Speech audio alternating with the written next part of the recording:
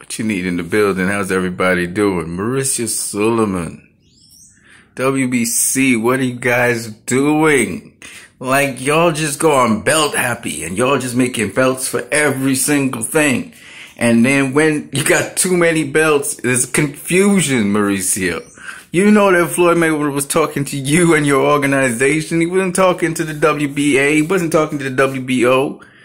It's the WBC. You're making this belt thing a comedy. What is it? You guys don't have money? What do you need? Donations? What is going on? Y'all making belt after belt after belt. Now we got this Black Lives Matter belt. Frontline belt, you call it. All right. We got this franchise belt. And none of these belts, none of these belts are really important to boxing. They're not. It's boxing. The sport's called boxing, not belt making. Mauricio, come on, man, Mauricio. Come on, your dad set such a great precedent. The WB's had such a reputation. You got to chill out with the belts now, okay? This is what I want to say. The WBC really are going to be the pioneers in wheelchair boxing. I'm looking forward to that. Um, they have some great um, initiatives, great programs. I'm not knocking the WBC, but you guys need to knock it off with the belt thing, okay?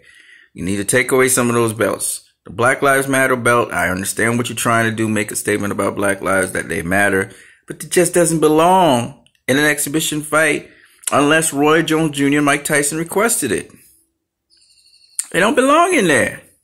If it was their idea, then it's a different story. But if it's not their idea, then why on earth are you making a belt for it? Why are you making belts, period, for things that have nothing to do with the WBC? Are you trying to push your name somewhere? Are you trying to push your brand? There's other smarter ways to do so so that people are interested in the WBC. Um, a lot of the talks that you have are great. I actually watch some of them, okay? Because I am actually, um, I have actually subscribed to your YouTube channel, okay? But as such, you can't be doing that. It makes a mockery of championships, particularly and fights. It's it looks it looks like you just don't care about fights anymore. Like you're like, oh man. But I know the WBC cares about boxing and the safety of boxers.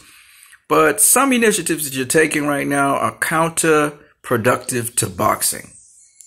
You're trying to, for example, the franchise belt, just to say this directly to uh, Mr. Sulaiman, the president of the WBC and the WBC itself some of the initiatives you're taking, and this is speaking from purely an objective standpoint, are not helping the sport. They're actually hindering the sport. They're hindering certain matchups that we want to see as fans. So, you know, it's just very important, I believe, that you sort of put value on your belts. Otherwise, the WBC is going to be worse than the WBO you know, the IBF still standing up there proud and strong. There's some initiatives they take that's really dumb, but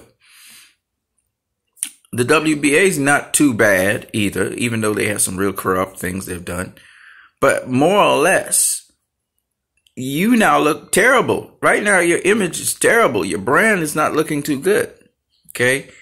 And I'm hearing all kinds of talks about people forming their own belts and PBC should do its own thing. Al Haymon. And Floyd Mayweather is a supporter of the WBC. He's a supporter of all of the sanctioning bodies. He wants his boxers to, to get those belts and those titles. But what I'm trying to say to you is you're not really making the WBC look good when you do these sort of things.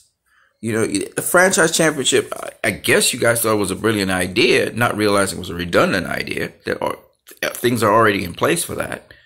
Um, and you have all these weird, like, seasonal belts, the Aztec, the Diamond, you know, the Mayan.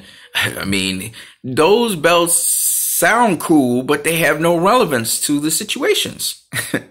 you know, I understand you're trying to tap into cultural history. I understand you're trying to tap in and say, well, we support the Black Lives Matter movement. We support Black lives. They do matter get what you're trying to do. You're trying to make a conscious uh, social statement, but these things sometimes backfire majorly in light of the fact that especially certain members of the black community and the boxing community look at you and say, why are you bypassing these black fighters if you say their, their lives matter? What you did with, for, uh, you know, Miss Crews, Um, what you did with Jermall Charlo, what you did with uh, uh, uh, Devin Haney. There's a perception out there. I'm just letting you know, I'm giving you feedback. I know the WBC collects their data and then they do accordingly. But sometimes you do some whack things. I'm not. I'm not gonna lie. It just. It just left field. Like we're all about boxing, and then you just come with this weird, weird stuff, and I'm like, oh, nobody asked for that. Did the fighters ask for that? Nobody asked for that. You know what I mean? Try to have your pulse on the people. Whether it's the Mexican people, whether it's the um, Afro American people, whether it's the uh, you know white community, keep your pulse on the people because you don't seem to have your pulse on them and pay attention to not just the people, but the fans particularly and what they actually want to see. And the fans will drum up the excitement for you. I'm talking about hardcore fans. If a hardcore fans excited, everybody's going to be excited because that's something the hardcore fans want to see. Let me tell you something, WBC. I know you want it too, but still. You know what people would love to see Canelo face? It's, it's been something that's been asked for for a very long time, and I know you know this. Canelo versus Demetrius Andrade, Canelo versus Jermall Charlo. Why? Because these guys came up together.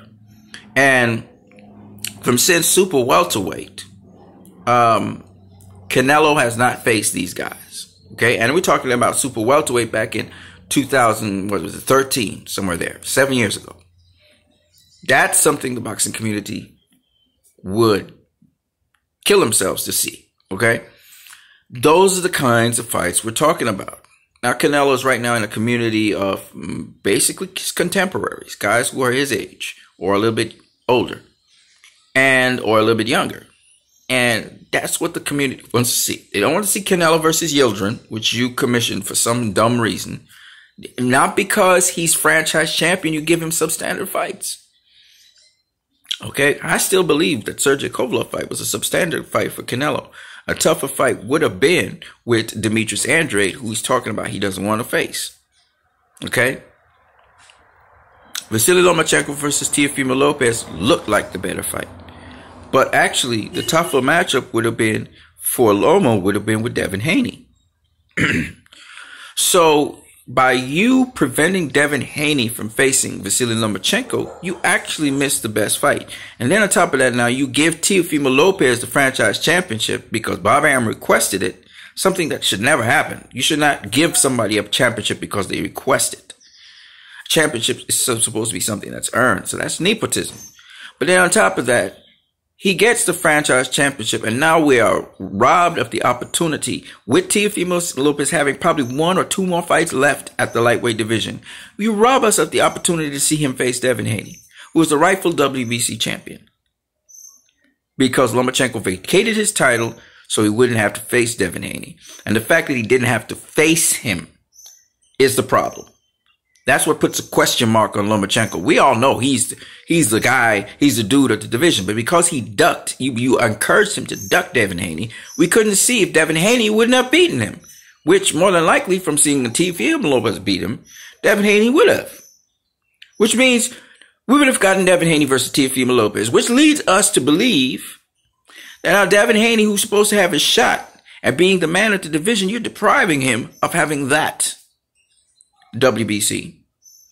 That is what you've done by putting this franchise championship out there. You've messed up possible matchups that fans would have gone nuts to watch. And to be honest with you, WBC, and I'm going to talk to you straight. Those are the kinds of matchups we need in boxing. We need 50-50 fights. I have no idea who would win that fight between Teofimo Lopez and Devin Haney. No clue. If Devin Haney would beat Teofimo or Teofimo Lopez would beat Devin, that's a fight I'd had to sit down and watch. I still can't break it down. I can't tell you who would win. There are too many intangibles. And they're both confident that they can beat each other. So I don't know who would win. That's the kind of fights we want as fans. To sit down and actually watch the fight and see who get the upper hand. Cause we don't know. So, and these are two legends in the making we're talking about. I mean, and to have that kind of fight is so. All I can say to you, WBC, is kind of hold off on the belts for now. Focus on the things that really could be done. Like I, I would, I would suggest. I'm just a fan, But please don't put any more belts out there, okay? Because right now, that belt thing is just is just stabbing people in the wrong place. That's a little feedback from a fan, WBC. We're trying to be nice. We're trying to be supportive. We're trying to support your organization. I try to support you in every single way possible. But right now, you're doing a bunch of crap. Okay? And so this is my address to you. And to clean up your act, all I suggest to you is either you define very strictly what the, the franchise champion is. And when you do so, make sure that it facilitates fights between guys who are WBC regular and franchise, however way it needs to be set up for to be done. I hope that Teofimo Lopez, whether you agree to it or not, faces Devin Haney now. If he gets past Gamboa. That's if he gets past Gamboa. He got to get past Gamboa. Okay. And we saw, you know, everybody's talking down Gamboa, but I saw the heart of a lion, the heart of a champion, and still a guy who was trying to win the fight in spite of the fact that he twisted his ankle in that fight. I think he ripped something in his foot. He still tried to win that fight, even though he didn't have proper balance. And even then, when Tank dropped him in the 12th round, he was willing to get back up and fight, and he had a poker face straight through. so, I mean, kudos to Gamboa, and we're going to see if Devin Haney could do better with him. That's all I got to say for now. Shout out to the WBC. You guys do a lot of good work. I'm not trying to overshadow all the good work you've done. But you need to clean up your act. You've been doing a bunch of bloopers over the last couple of months or even years. Okay. Uh, Franchon Crews, that woman is representing your organization. You didn't listen to her. You're trying to back your champion. You shouldn't do those things. You shouldn't pick sides. You should say that investigation is in process and you need to investigate also the Wilder versus Tyson Fury thing. You need to do these things. You can't be talking about Black Lives Matter and you're not giving the perception to the fan base that you're trying to do something to show that they do matter. It's how you behave. It's how you act. You have to evaluate situations and facts and at least give the appearance of fairness and equity and however it falls, it falls. And you as a sanctioning body needs to do that. You cannot be picking the side of your champions and you're all pro champion because you're getting sanctioning fees from them and they sort of represent what you want. You know, you want to see more representation of, of, of different kinds of people there. You can't be just doing that. You have to be impartial. You have to show you're a sanctioning body. Otherwise, why would we go? Why would somebody support or be a part of a sanctioning body that's partial and biased? It's not a fair competition. So that's all I'm saying.